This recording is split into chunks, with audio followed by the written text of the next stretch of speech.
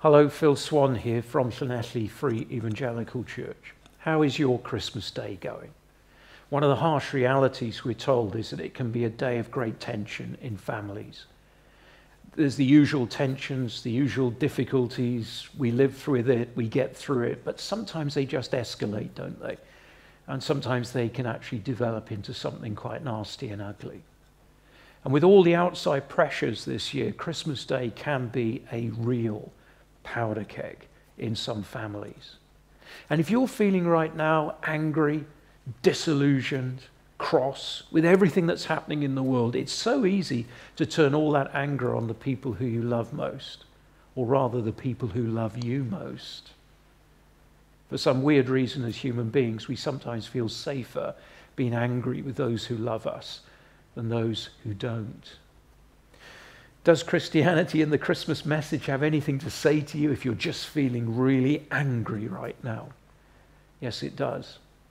Often within our anger, there is fear. We get angry because we're afraid. We're disappointed. We're frustrated. But the root of it is fear.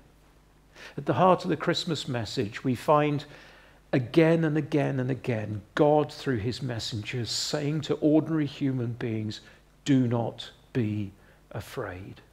Why? There is someone greater than yourself who is mysterious but glorious and comes to us as one of us. And he gets you and he understands you. And so today, if you're angry and there's tension in the home, take time out for everyone's sake and pour out your heart to God. Tell him how you feel. Ask him for your help, for his help, and ask him to fill your heart with his peace. He has the power to do it, and he delights to do it. Find strength and comfort today in Jesus Christ.